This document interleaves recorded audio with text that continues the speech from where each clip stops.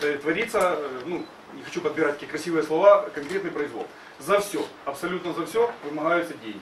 В случае, если у человека нет денег, помощь э, не оказывается. У нас масса случаев, вот посмотрите, вот это список, я его везде хожу. Это уголовные дела, это отписки прокуратуры, то, что мы пытаемся бороться.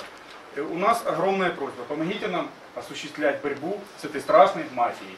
Сейчас практически, я не буду говорить, есть очень порядочные главврачи, есть больницы, но практически в половине случаев мы имеем ОПГ, которые сейчас э, еще с тех времен Януковича захватила власть в этих больницах, ничего не меняется. Мы пытаемся биться с этим, доказываем, что есть и деньги, и бюджетные деньги есть. Мы сейчас уперлись, наша основная специфика была это аппараты МРТ и КТ. Вы знаете, как наказывают нас местные главврачи? Они его просто отключают, чтобы мы не открывали рты.